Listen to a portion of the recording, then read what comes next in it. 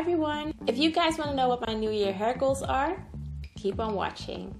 So first of all, Happy New Year you guys! This video will come out a little bit late just because uh, the last photo that I posted on my Instagram went completely viral showing this new hairstyle that I'm rocking as a protective style for this month and I want to thank everyone for liking it so much and tagging me in numerous things and just getting so many new followers. I'm so happy with it and to the new people, welcome to my channel and I hope you guys will enjoy it. If you guys haven't seen the video how to achieve this hairdo, then just go to the previous video or click the link below. Click the link below.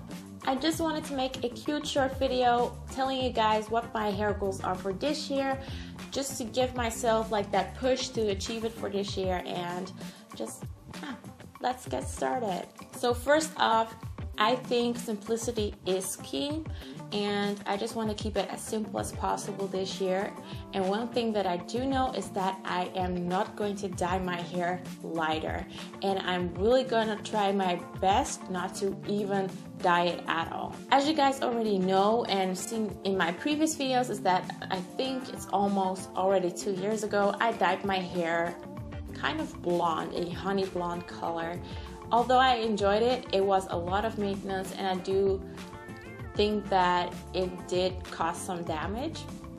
And that's just something that I don't want to do again. And I actually think that my natural hair color suits me the best. I'm just happy with this color and I think that I can rock with this for a while. So that's my first thing for this year. Second thing is that I'm gonna trim more often. I note I've noticed that especially with this Dutch weather, my ends really have a hard time maintaining their self or at least to stay healthy. So I want to trim uh, at least twice this year um, and get a cut once, but I don't know when or where or how. I have still no idea yet. Angela, if you rewatch this when it, you have a hard time, just snip it off. Another thing that I really want to focus on this year is trying to find a good routine and keeping it simple. I've noticed that I was doing way too many things and manipulating my hair too much, and then I wanted this and then I wanted that. I just want to keep it simple and just make it easier for me to maintain. So I want to wash and condition uh, max twice a week and I want to deep condition once a week and do a protein treatment whenever needed.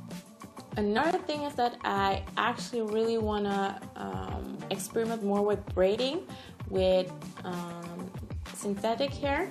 So I'm thinking about getting box braids, but there are some projects that are coming up uh, which makes me unable to do that for now. But it's definitely something that I want to try out. I've had them when I was little and I kind of like them and I think it will give my hair a little break of all the manipulation. So I think that I'll do that very soon. And just trying to have a protective style at least three months of the whole year. I think that that's a good aim.